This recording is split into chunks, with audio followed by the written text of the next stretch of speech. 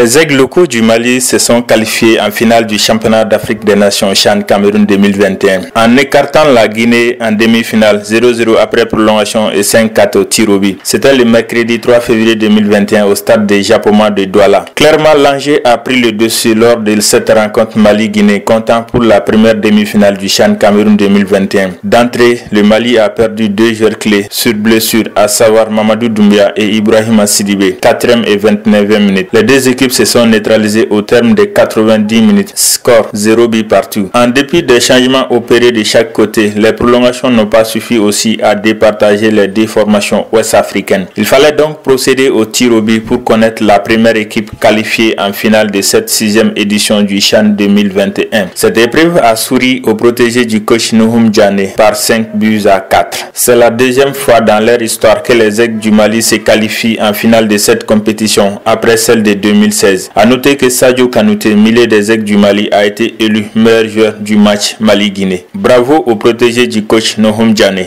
mali samatasɛgɛ y'u ka biye sɔrɔ ka taa shan championnat d'afrique des nations a tako wɔrɔna finali kɛnɛ kan a kɛla u bɔlen kɔ ka sebaaya sɔrɔ guine kɔnakiri kan fu ani fu prolongation kɔfɛ duru ani naani tirobi la balɔntan sigila sen kan mɛrkredi fevriye kalo tile saba saan b'a fila ani mg ni kelen stade de japoma la duwa la balɔntan ɲi gwɛlɛyara tɔn fila ni ɲɔgɔn cɛ ka daa kan u fila bɛɛ lajɛlen kun be fɛ ka taa finali la o la mali fanfɛla la mamadu dumiya ale ni ibrahima sidibe olu fila bɛɛ lajɛlen banana kabi sanga naani na ani sanga mg ni kɔndɔn na o bɛna nata tɔn fila ma se ka celu dayɛlɛ fu ani fu sanga bi kɔnɔdɔn kɔfɛ prolankasiɔn fɛnɛ la o ma se k'a to ko sebaa dɔnna o la jagoya la fɔɔ tirobi kun ka sigi sen kan walasa k'u bɔ ɲɔgɔn na tirobi sen fɛ mali samatasɛgɛw ye duuru sɔrɔ laginɛ olu ye naani sɔrɔ o la mali y'a ka biye sɔrɔ ka taa shani kamerun 2021 ale finali kɛnɛ kan nin bena kɛ a siɲɛ filanan ye mali be taa finali la saan b'a fila ani tan ani wɔrɔ kɔfɛ rwandakaw fɛ nɔ ka tuguni sajo kanite ale ye samatasɛgɛw ka camacɛ bolo ntolacila ye ale kɛra mali gine a ntolatan ntolaci wana ye mali ale ni kamerun walima marɔk dɔla kelen be ɲɔgɔn sɔrɔ fevriye kalo tile wolonfila saan b'a fila ani mg ni kelen finali kɛnɛ kan ala ka sɛbɛya nɔgɔya mali samata sɛgɛw ye